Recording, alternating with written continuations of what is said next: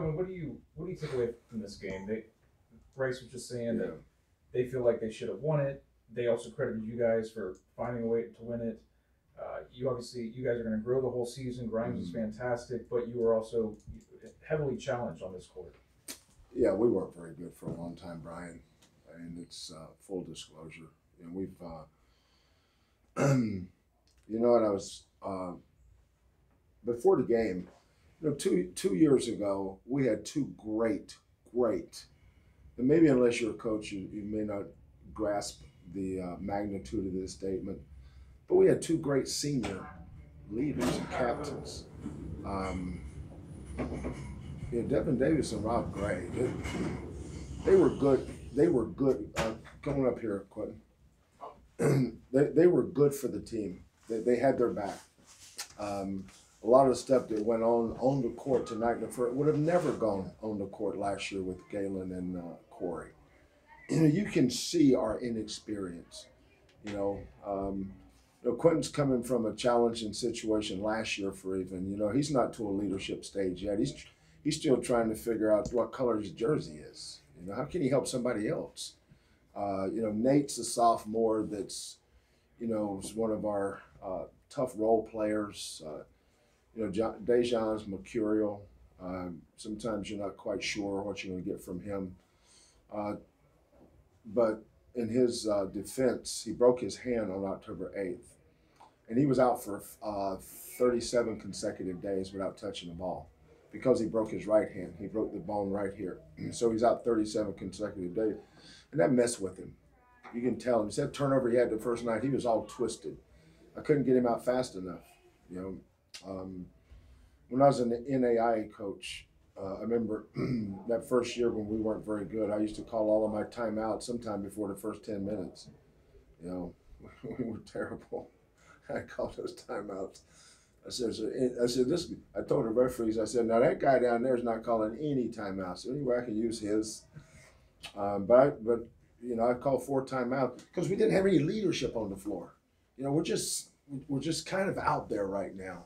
Um, but like BYU the other night, I, I don't know if we could. I, I, never had a team make as many mistakes. We chart our mistakes and what categories they come from. I think we had, we gave up 19 points on pick and roll breakdowns. I actually wouldn't give up 19 points in, in a month on pick and roll breakdowns. But this team's not anywhere close to where they're going to be later. Yeah. You know, but I think one of the things that has to help you along the way, like it would have been great if that kid had not made his shot. You know, because you know, a team goes through three stages. You hope you can win, you think you can win, then you know you can win. But you, but they all have to go through it. You know, last year's, uh, two years ago, that team lost to Drexel. You know, then next thing you know, they won 27 games and almost won the Sweet 16. But they didn't start the season off knowing they could win. They, they were hoping to. You know, and that's why to win tonight, uh, no matter how we won it, uh, was good for uh, our young guy's psyche. You know, this is the first time I've played two freshmen since I've been at Houston. I've never played freshmen like this, you know, and, and technically, Marcus is in Galen's spot, and Caleb tonight was in Corey's spot. Well, that's not a fair fight, but um, you know, eventually those guys are going to be good players, but it's not going to be this month. That's why um, I, I have to be a little patient. I'm not good at that, you know. I know I'm not, but I but I've got to be. You know, um, I've been coaching Quentin hard. I hold him accountable for just about everything. But I think because he's such a high character kid, and he comes from such a great uh, family background, he, he's he's able to handle it. And um, um, and tonight, you know, it's a good payday for him because he's, he's put in a lot of work. This kid really, really works at it he, he deserved to have that game. That's why I was so proud of him and happy for him. How, how, what did you see from him being able to kind of guide you guys through this, especially in the second half? Just not afraid to, not afraid of the moment. Um, I think the big three. Uh, uh, Mar- did Marcus hit the one to put us ahead Uh, for the first time? In yeah, second? Mark did the one. First area, yeah. Yeah, and and then um, uh, then the other thing we, we switched our defense. We got out of the man to man. I'm sure their second team guards them better than we did in practice every day.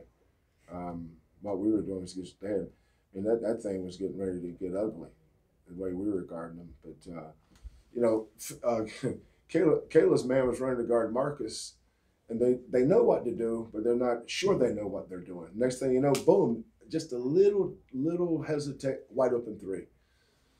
So I told the staff, I said, look, fellas, uh, unless we um, find a way to get them off their rhythm, this thing ain't going to end real good. So we jumped in that three two, and our kids were active in it. But what we did good in the three two was rebound. Every time they shot and missed, we got the rebound, and then we got out in transition, and that's where DeJon and um, um, Quentin's uh, both of them are elite passers, uh, and they they started working really well together. But um, um, we Quentin needed this kind of game. DeJon did too, because we haven't had him. We haven't had him since September. You know, it's just it's just been a disheveled. It's just been a very disheveled time for us. We just haven't been solid at anything in practice or preparation. You know, leadership is a big void. Uh, these freshmen, but um, you know, we'll take some more hits. It's not, you know, last year we went 13 and 0, but we easily could have lost three games. Could have lost to St. Louis. We're down 15 to LSU. We're down 10 to St. Louis. We're down 10 to somebody. Oh, Utah State, we're down 10. Um, but but like the BYU game the other night, we won that game last year. This year we we didn't get the break at the end.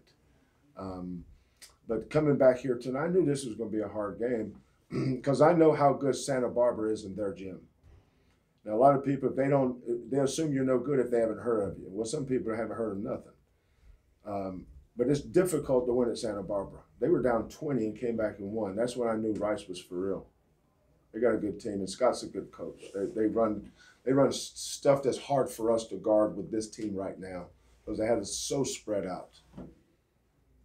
Quentin, what was tonight like for you to be able to have 32? You guys find a way to win this game and to, to do it in on Rice's court, considering everything you've been through. Yeah, definitely. Coach definitely stressed how important this game would be.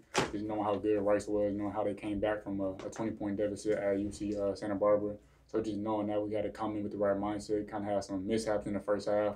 But like Coach said, once in the second half, coming in kind of, you got toughness, you got toughness in us. And we went to that 3 2. They kind of got rattled in their offense, got a little bit stagnant with the ball movement. They took some bad shots. We got the rebound, and we just kind of went down and played Cougar basketball.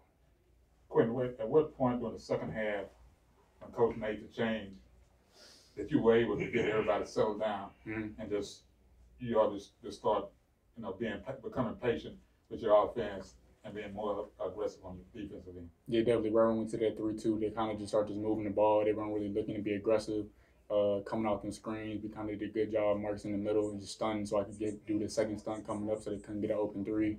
And we get the rebound. They went back in their little two three or three two action. We have Marcus the shooter running baseline. They got to take him every time because he's just a knockdown shooter, and that just opens up the gap for me and DeJon to go in there and make plays. Kevin, what do you think of the, the atmosphere here tonight and how- this game being this tight in this in this gym? Yeah, I, I, I- I think in some ways, Brian, uh, you can tell how far our programs come. 'Cause, um, there was some, I, I'm being facetious when I say this, so don't, don't take it uh, face value. But we, we had games uh, that first year where, uh, I mean, look how many people traveled to see us now. You know, we had an unbelievable crowd Friday night. You know, um, and that's great. That's great for our university. Our, our athletic department needs that. We need a little shot, need a little adrenaline going, something. You know, fans just want something to to make them feel good and feel proud. You know, and if that's us, so be it. You know, uh, there's no doubt our football program is going to be back. You know, um, Dana's big time, um, um, but right now. I like I like where our basketball program is. I like where it's headed. It doesn't mean we're not going to stub our toe here a few times before Christmas, but uh, I'm anxious to see what we look like in January. You know, we've got we got to go to South Carolina. People forget they finished fourth in the SEC last year, um, and they've got a couple pros, uh, projected pros coming back. Oklahoma State's got everybody back, um, but you know, I, I just think I, I, I can. I can see it better than I can say it.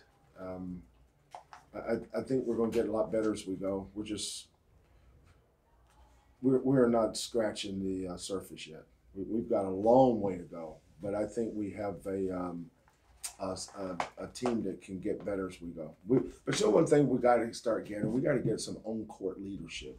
You know, DeJon would help with that, but you know he's he, he hadn't even practiced with the team for five weeks. Probably shouldn't even play him against us at uh, BYU. That's why I didn't start him tonight. I said, you know what, DeJon, I shouldn't. That- that was my fault. I shouldn't even had you out there. You mentioned you should have played in that game. But he was out there trying to shoot threes. Um, but um, you know, he'll get better as it go. Quentin and Quentin and DeJon, Marcus, Caleb, Nate. Uh, that's a solid backcourt. Um, but this was not a night for our, our big guys. They didn't have any big guys for us to guard. Who's Chris Harris going to guard? Um, you know, the one kid, the uh, number, uh, what's that kid's name? Felder. Mm-hmm. You know, he's he's going to be a pretty good player, but you know, we're better off. I was playing Fabian at the five. Then I said, you know what, that ain't working either. We can't guard Fabian. Can't guard these guys. Let's just go five guards. No, tonight's one of those balls you know, just spitball and throw it up and let's see what works. And you know, we kept throwing enough at the wall. Found something finally did. Quentin, you guys go on that uh, 13-0 run towards the end of the second half. Did you guys were trading the lead throughout the second half? Did anything feel different early in that 13-0 run? Uh, I just feel like we tried to come together. We just kind of just settled down. We didn't really kind of let them kind of speed us up as they kind of real, really wanted to. Kind of settle down, just move the ball, and just kind of looking for the best shot. Whether that be Marcus coming off a three, DeJon making the right play, or me making a three. I feel like we kind of just settled down. We kind of took our time and be patient with the offense. Coach, what would you say was the difference down the stretch offensively? Going to the zone defense helps, but on offense. You know what? Not playing with the post man. I, I, I, I just said, you know what? Let's play corners, high slots, and middle. And that gave us room to drive. Sometimes you help a defense by sticking somebody at the free throw line. There's an age old adage, well, you got to have somebody at the free throw line. Do you? You know, if you if you don't have a big man, um, you, you're, and that's why we're getting so many wide open threes. Because when somebody broke the defense down, it, it collapsed, and we were just playing inside out. I think um, uh, playing five guards and um, and taking those five guards and playing uh, zone with it. Uh, and then when a kid hits the shot, confidence comes. Um, you know, Marcus is such a young freshman. I mean, he's really young, um, but he's such a great. Everybody loves Marcus. He's a great kid. He really is a great kid. Great young man. Um, but when he hit a couple shots, then uh, Quentin hit a couple shots. Um, Fabian and uh, Nate, and then DeJon came in and started playing good. I mean, DeJon couldn't have been any worse the first half if he tried to be worse. Um, but the second half, he played. He, he was he was DeJon again, and that's why I think our team will continue to get better because we need DeJon to. If we're going to be what we want to be, DeJon's got to play good. Anything else?